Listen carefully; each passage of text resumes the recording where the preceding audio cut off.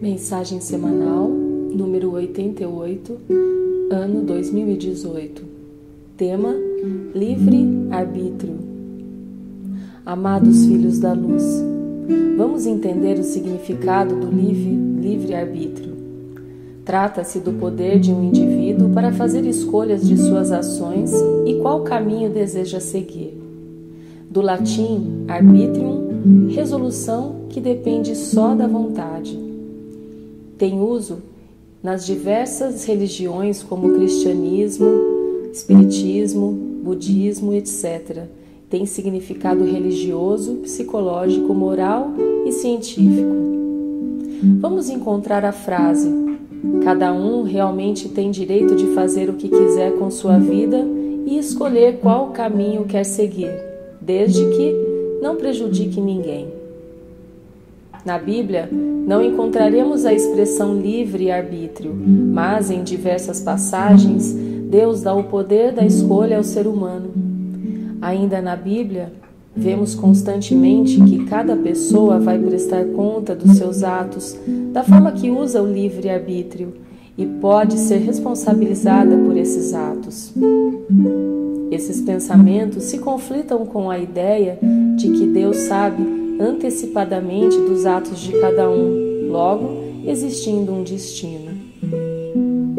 Deparamos-nos com a palavra árabe maktub, que significa já está escrito ou tinha que acontecer. Essa palavra é considerada sinônimo de destino, porque expressa algo que iria acontecer.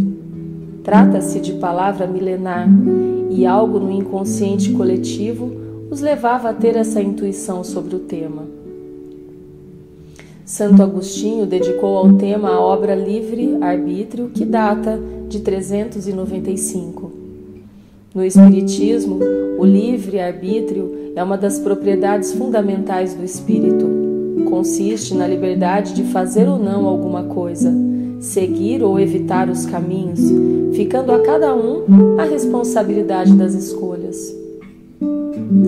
Na filosofia, o livre-arbítrio se opõe ao determinismo. Defende que todos os acontecimentos são causados por fatos anteriores. Considera ainda que o indivíduo faz exatamente aquilo que tinha que fazer. Seus atos são inerentes à sua vontade, ocorrendo com a força de outras causas, internas ou externas. As informações acima nos demonstram que esse tema, livre-arbítrio, é motivo de reflexões desde a antiguidade e percorre as diversas religiões, filosofias e crenças. Não pertence a um ou outro grupo.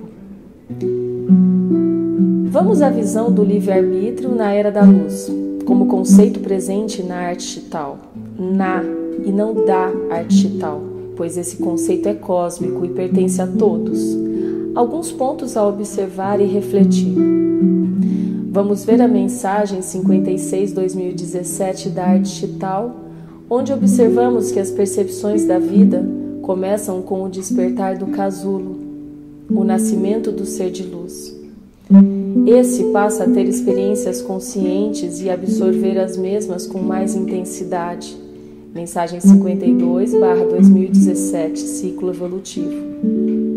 Aqueles nas faixas de 14 a 24 elipses não têm qualquer percepção da vida, ainda estão no casulo. Aqueles que estão na faixa de 12 elipses, elipses para menos passam a ter percepções progressivamente. Como dissemos anteriormente, não há reencarnação, e sim novas encarnações ligadas ao ser de luz, no casulo ou no desperto. Tais encarnações levarão cada indivíduo e, consequentemente, o coletivo da humanidade à evolução. Esse é o motivo primeiro das experiências.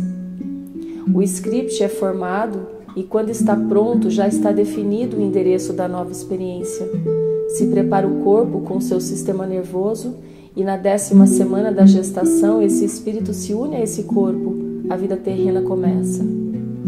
Lembre que até a chegada de Jesus todos estavam com 14 ou mais elipses, à exceção dos seres de luz da missão encarnados, com oito elipses intensas.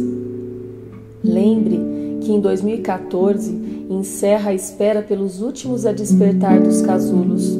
Chegaram a 36% das 13 bilhões de fagulhas divinas trazidas para o planeta. Os indivíduos que estão na faixa de 14 a 24 elipses terão seus scripts, seus espíritos, preparados por um ser de luz de três elipses anti-horárias esféricas, e o farão com uma visão do todo da humanidade.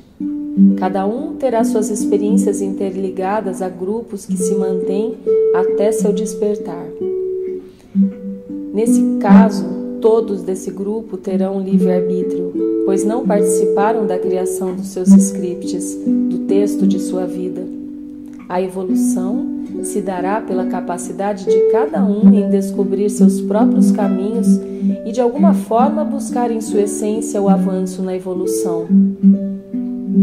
Para essa fase de 14 a 24 elipses, foi criado um plano espiritual, algo semelhante ao plano terrestre, onde o teatro continua e as pessoas irão compreender o propósito da experiência, irão interagir com conhecidos e desconhecidos, promovendo a colheita da experiência.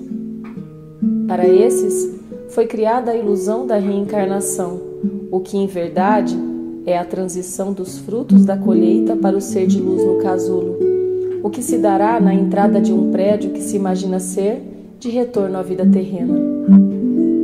Nesse momento, as essências, a colheita, são absorvidas pelo ser em evolução e essa nova experiência se inicia. Vale afirmar que a experiência é eterna no ser de luz que está ligada. Logo, ainda cabe dizer que todos são eternos. Os despertos, ao saírem do casulo, logo com dois elipses iniciais, serão agrupados naturalmente em células de oito seres de luz. Se unirão por compatibilidade e complementariedade. Começa o treinamento desse ser de luz desperto. As primeiras encarnações, experiências desse grupo serão criadas por um ser de luz de três elipses anti-horárias esféricas, com a participação inicial desse desperto. Esse desperto começa a ser treinado para criar futuramente seus scripts. Podemos dizer que até a segunda encarnação depois do despertar, esse indivíduo ainda tem livre-arbítrio, pois ainda é incipiente sua participação na formatação do seu script.